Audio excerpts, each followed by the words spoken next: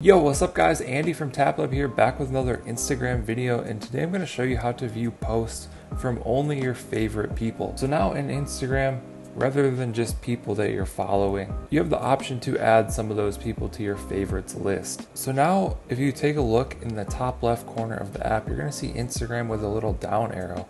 Let's go ahead and tap on that and you can see that there's two options here now. There's the following feed, which is this normal feed, kind of curated by the Instagram algorithm to show you everything that you're following and even some things that you aren't following. And then we have this favorites feed. So I just set this up real quick when you first go into this, if you haven't set up favorites, it'll automatically show you people that you view or interact with their posts the most. So these are some of those people for me. And now I have a feed where I can just scroll and see only my favorites, only people that have been added to this list. First of all, if I want to add people to this list, I just tap the icon in the top right corner.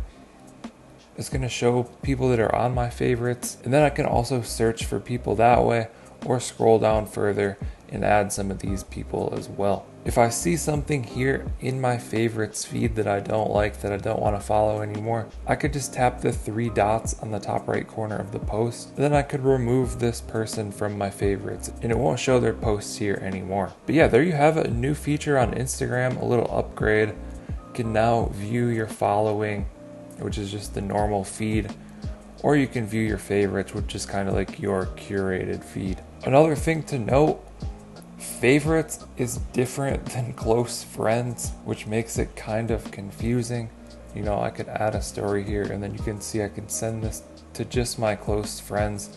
So only my close friends could see this. But it seems that your close friends list and your favorites feed are a different thing with different people. So just something to take note of. Hope you found this video helpful. Let us know what you think down in the comments below. Like and subscribe if you want to see more videos like this. There's also an Instagram playlist with hundreds of tutorials. Thank you guys for watching. I'll catch you in the next one.